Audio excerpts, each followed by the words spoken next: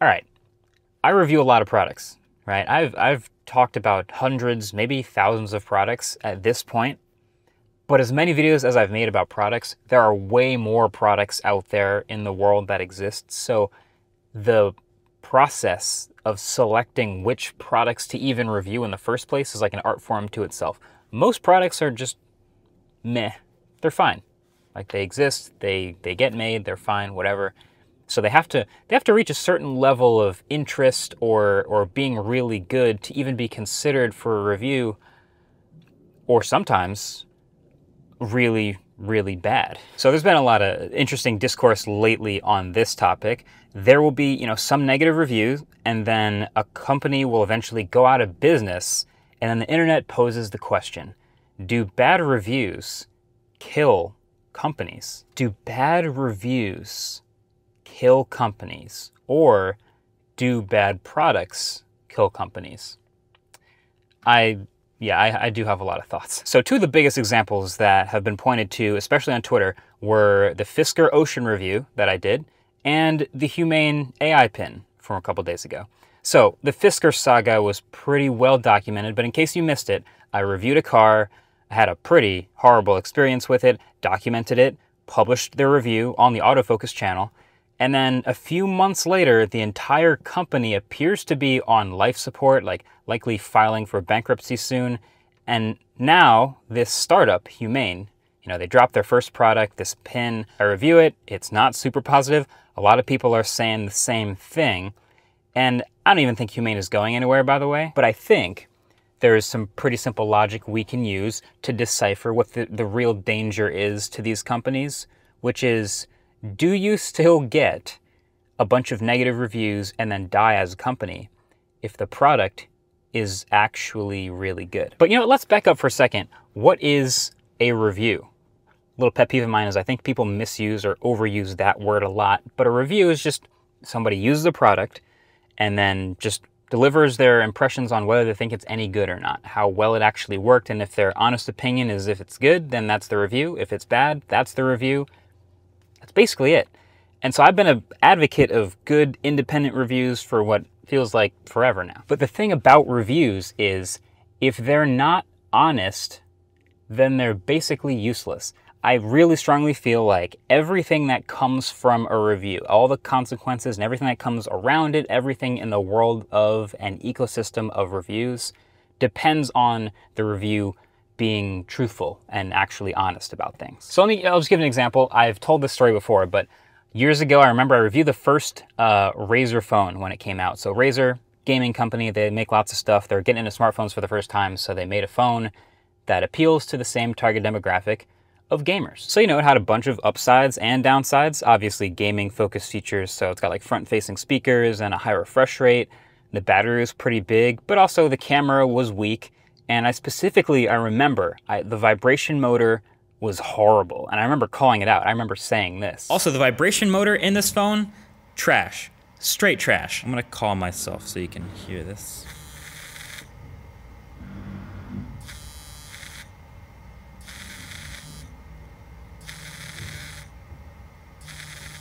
It sounds broken, like it's, but it sounded that way out the box since day one. So that is the Razer phone. Just one of the worst vibration motors I've ever experienced in a new phone. So, okay, fast forward a year, right? I'm at a briefing. It's in New York City. It's for the Razer Phone 2. And so they're walking me and some other people through this new phone they've made, and they've got a bunch of changes. It's got a glossy back. They added wireless charging now. The logo glows, and like the speakers are better and all this stuff and they're talking us through it. And then the guy turns to me and he says, And Marques, you got to try the new vibration motor in this phone.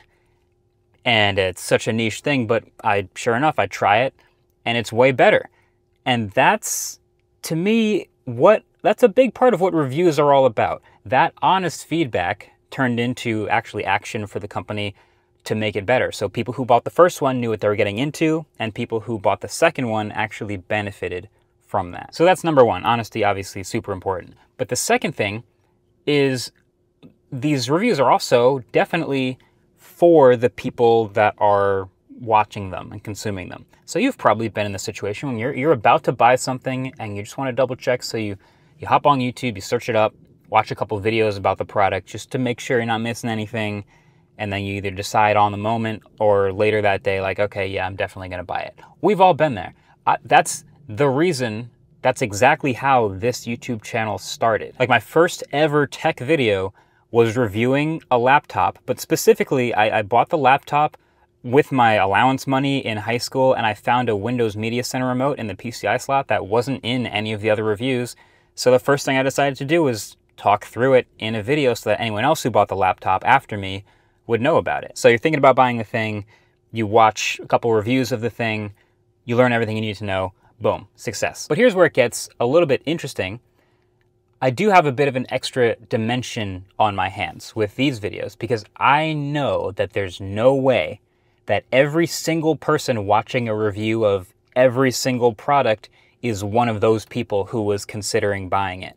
I get that comment actually in person all the time. I you know, I watch the reviews even though I'm not buying any of this stuff.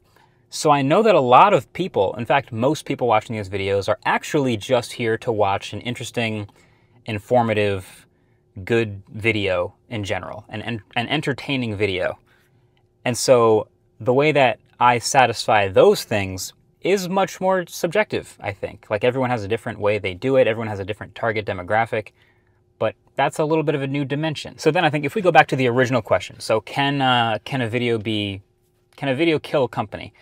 I'll use the uh, Humane and Fisker examples specifically. The Fisker Ocean was a terrible car. It is a terrible car. I've reviewed about 40, 50 different cars in the past few years made videos about many of them. This is the first one where I genuinely couldn't wait to be done driving it. Like, it just had tons of problems, bugs, missing features, safety issues. Like, it's just bad, right? So I review the thing. I give people what I feel is a fair assessment that also doubles as a warning not to buy this bad car.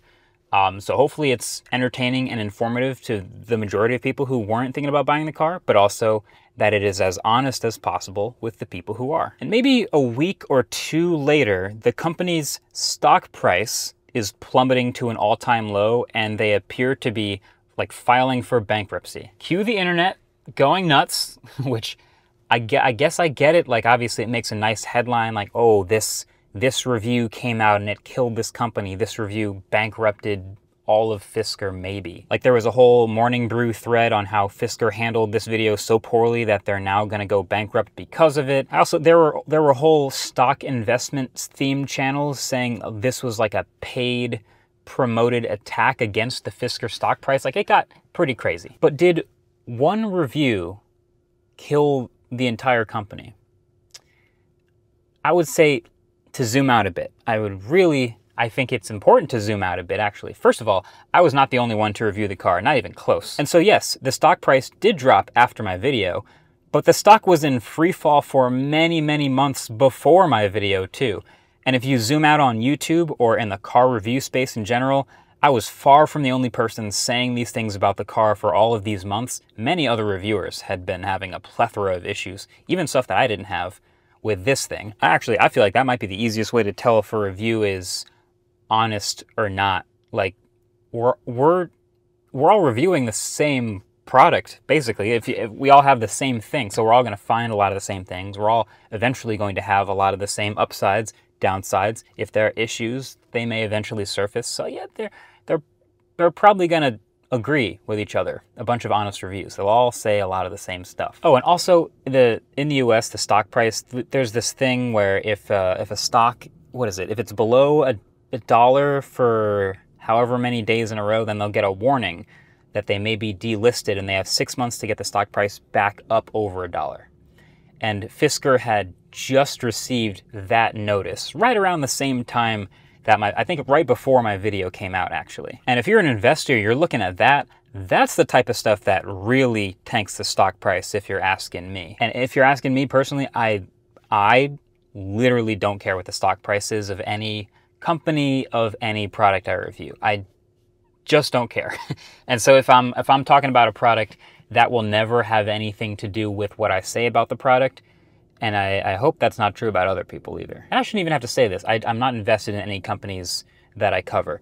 It's just a matter of trying to make an informative educational, and honest video review. That's my goal. My only goal is to do that. And I don't have any duty to any of the companies whose products I cover. It is only to the people watching the videos. So now, okay, fast forward to, you know, pretty recently, the Humane AI pin comes out.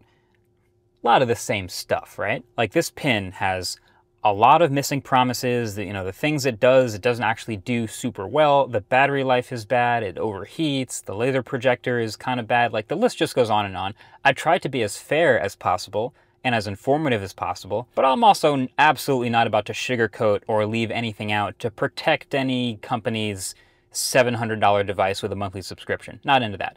But yet, even still, there are some threads blowing up saying, it's extra bad what I did to this poor company. And, you know, maybe you could argue since this is the biggest channel that covered it, maybe there's some extra impact there. But again, I would say to zoom out. I just zoom out again. I am not, I was not the first actually even to cover the Humane Pin, but I'm also far from the only one to talk about it. And even a little inside baseball, when a product comes out that's this notable or this bad, uh, which isn't very often, a lot of reviewers like that's it's a very it's stressful. You want to make sure you get everything right.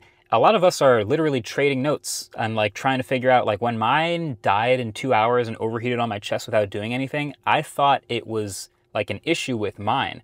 And I was texting a couple others and sure enough, they're having the same things happen to them. So, we're all trying to be as as thorough as possible and making sure our reviews are truthful and so that's how you get a bunch of truthful reviews. Now, you could argue, and I think the, the guy on Twitter did, that uh, the packaging was too clickbaity, and I totally get that. But I also stand by our title and thumbnail, and especially the end of the title. But keep in mind the dimension that that most of the people who who see this in their feed and their subscription box have never heard of the Humane AI pin, and this will be the first time they hear about it, and they click on it, hopefully, and then they're delivered with a thoughtful, well considered, balanced, and honest, and entertaining and informative video that happens to be a review. So, look, I've reviewed a lot of bad products in my day. You might remember some of them. You might remember the Dyson headphones or the Red Hydrogen 1 or the Pixel Slate or the HTC U Ultra. The list goes on. But one thing has definitely been clear and consistent throughout all of this, which is anytime the company goes under, you don't get those bad reviews without the product being bad to begin with, obviously. I have a massive amount of respect and appreciation for people and groups of people who are actually making new stuff, like building products. That's the hard part at the end of the day. And we get to get a whole bunch of new exciting things that might change the world, and that's really exciting. But my reviews, technically, are not for them. All that any honest review actually does is just accelerate whatever was already going on. Think of it that way. Okay, thanks for watching. Catch you guys in the next one. Peace.